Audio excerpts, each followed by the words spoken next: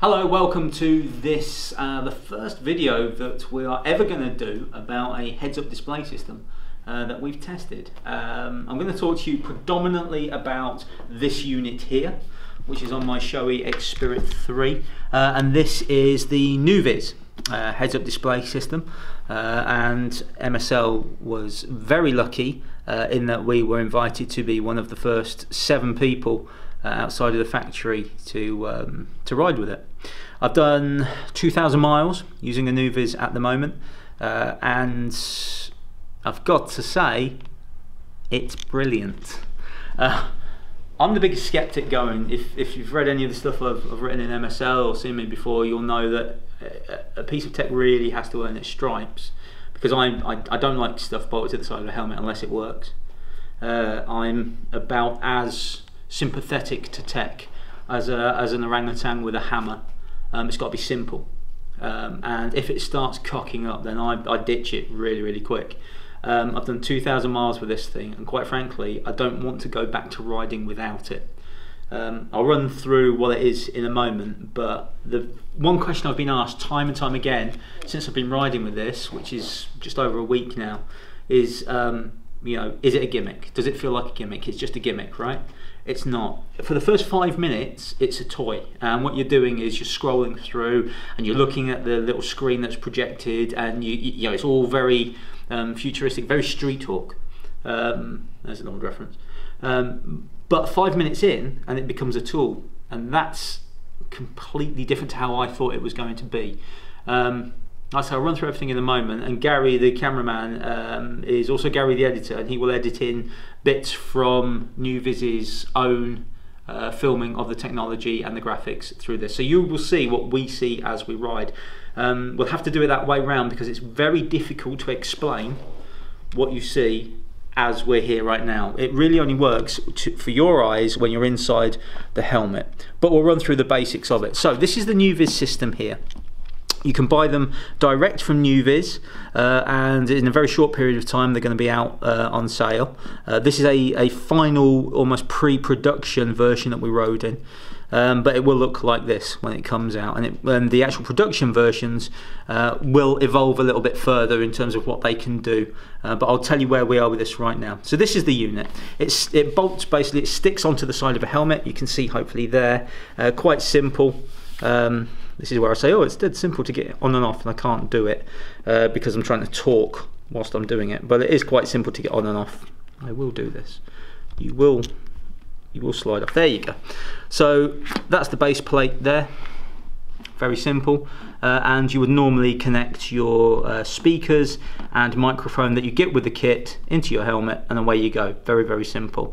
This is the back of the main unit see there's the connection here, a uh, bit of fins on there, and it's just one solid unit that slides into position.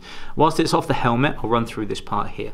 This is the screen that you look at, so you get an idea of the size. If I hold my thumb next to it, uh, pretty average size thumb, uh, you can get some sort of idea there of the size of it, and that's what you see. You look at this part, which is outside the visor. Um, if I tip it, Gaz, tell me if you can see inside that okay about there. It's not turned on at the moment.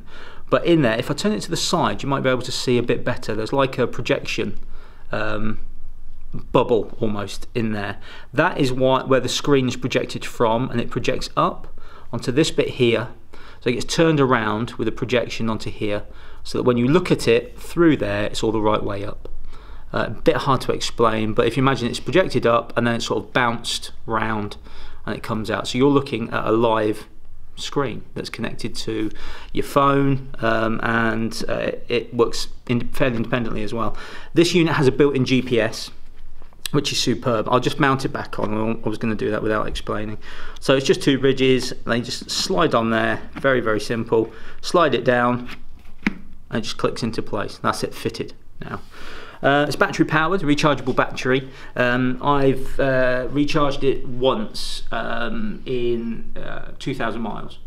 Uh, it was on for the majority of that time. I wasn't using it all that time. Uh, and you can turn the screen off. So if you're just listening to music or whatever as you're touring, you turn the screen off. That does save the battery. The Nuviz guys told me that the screen is the biggest battery sapper, just like on your mobile phone. So if you want to extend the battery life, just turn it off. And I was, as I was coming back from a, a big trip, uh, turning the screen off when I, A, I didn't need my TomTom, didn't need my sat nav, didn't need the maps that are loaded into the system. Um, just listening to a bit of music, I just turned the screen off. So that preserved battery. But I've charged it once in 2,000 miles to give you some sort of idea of length of time uh, that I was riding. Um, so that's the unit that goes on the helmet. There's really that's all I can really show you about it, other than it has a camera on the front. You've probably seen that. You can move the camera around. You can position it slightly. You can adjust it up and down. Um, which is fine tone you might be saying but uh, if we do that how do we know where it's pointing here's the beautiful thing when you activate the camera on this system you get a live screen showing you what the camera's looking at in here so whilst you're looking at the screen floating in front of your visor you can then just adjust the camera to be absolutely spot on where you want it. Uh, this takes stills and uh, they, as soon as they're taken, they're imported directly to your phone straight away in a, in a folder that NuViz creates in your gallery. Uh, video is recorded to a, an SD card just as normal and you can download it from there. Uh, 8 megapixel camera, I think 1080p on the video, um, but we'll double check that. I think it's 1080p on there. Um, the video, the camera is very very easy to use. Uh, I'll show you that on the hand, uh, the hand um, unit in a moment. Um, but for me, not a gimmick. It's that's it's hard to explain because it just sounds like it should be a gimmick. But on this, on this screen, you get various um, screens that you can scroll through. And there's one for music player, one for maps. You can program your ride on your phone in the app and then it will just you can ride that ride. Uh, it's got speed alerts on it. It tells you when you're a certain percentage over the speed limit um, and you can change that to be wherever you want to set those parameters. Um, you can make phone calls. You can see your contacts list in there. Uh, you can see the log of your last several calls so you can make phone calls while you're on the move very very easy and your hand never has to come up to here uh, if you want to adjust it, if you if you're saying yeah, it looks a bit loose tongue, I'm not 100% sure of where it would be in terms of my eyes. Well, um, this moves, so you can go backwards and forwards. You can adjust it. If I turn that sideways, guys, it might help. Um, so if you, you, can rock it forwards and you can rock it back, and then you can turn it in, you can turn it out like that.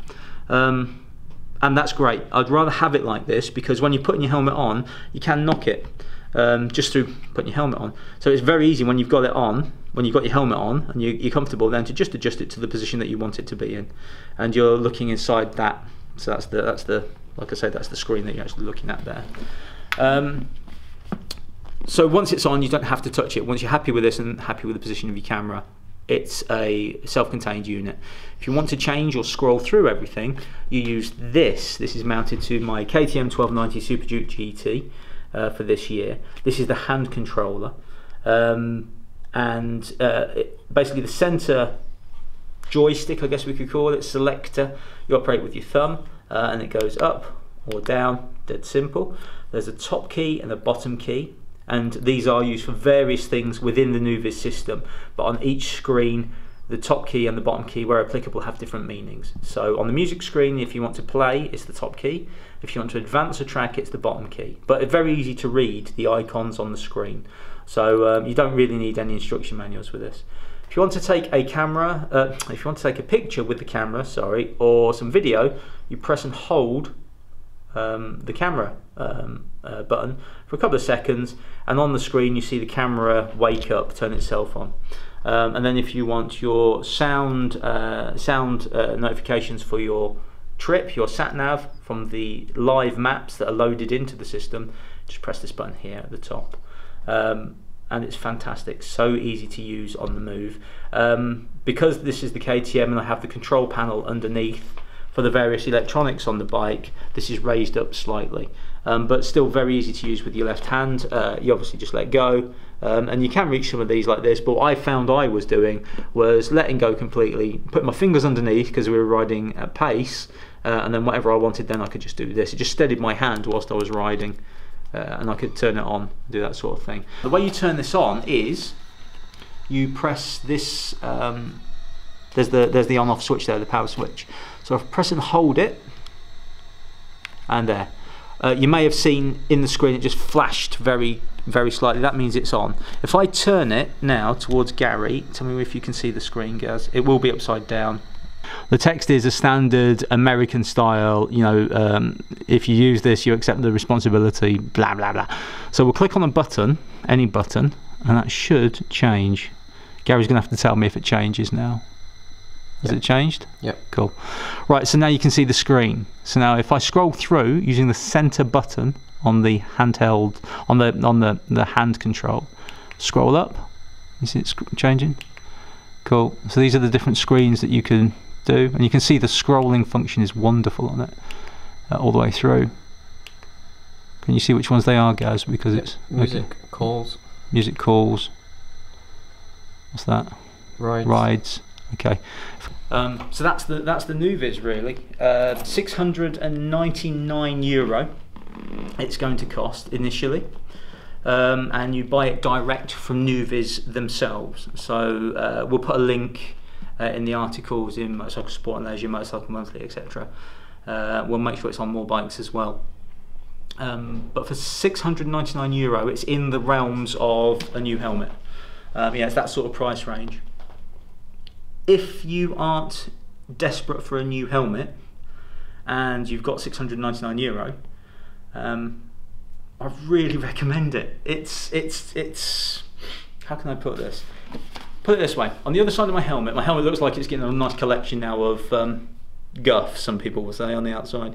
Um, this is the Sena 10C. Um, and I love this to pieces. This is always with me on every ride. Great camera, easy to use, good Bluetooth, get music on it, make calls, etc. But you have to learn the, the button combination. Not a, not a terribly difficult thing to do. You learn them pretty quickly and you can use it. Um, the Nuviz, this Nuviz is actually connected to this via its Bluetooth. So we've set up a protocol where this can talk to this and I'm listening to everything and I'm talking on the microphone that's the Sena stuff. So you can do that if you already have a Bluetooth on there that you really like. Um, this changed my motorcycle life in a way I never thought was possible in that to have that ability to have music when I wanted, to take photos and footage easily without having to stop to do any of that stuff. Um, and of course, when you don't want any of that, turn it off and you're just having a, great ride with no interruptions um, or to make or receive phone calls.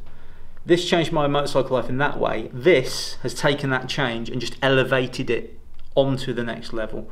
Um, I've never subscribed to the idea of head-up displays. I was quite sniffy about them uh, up until the point where I used this one, and now pff, I am a convert of the highest order.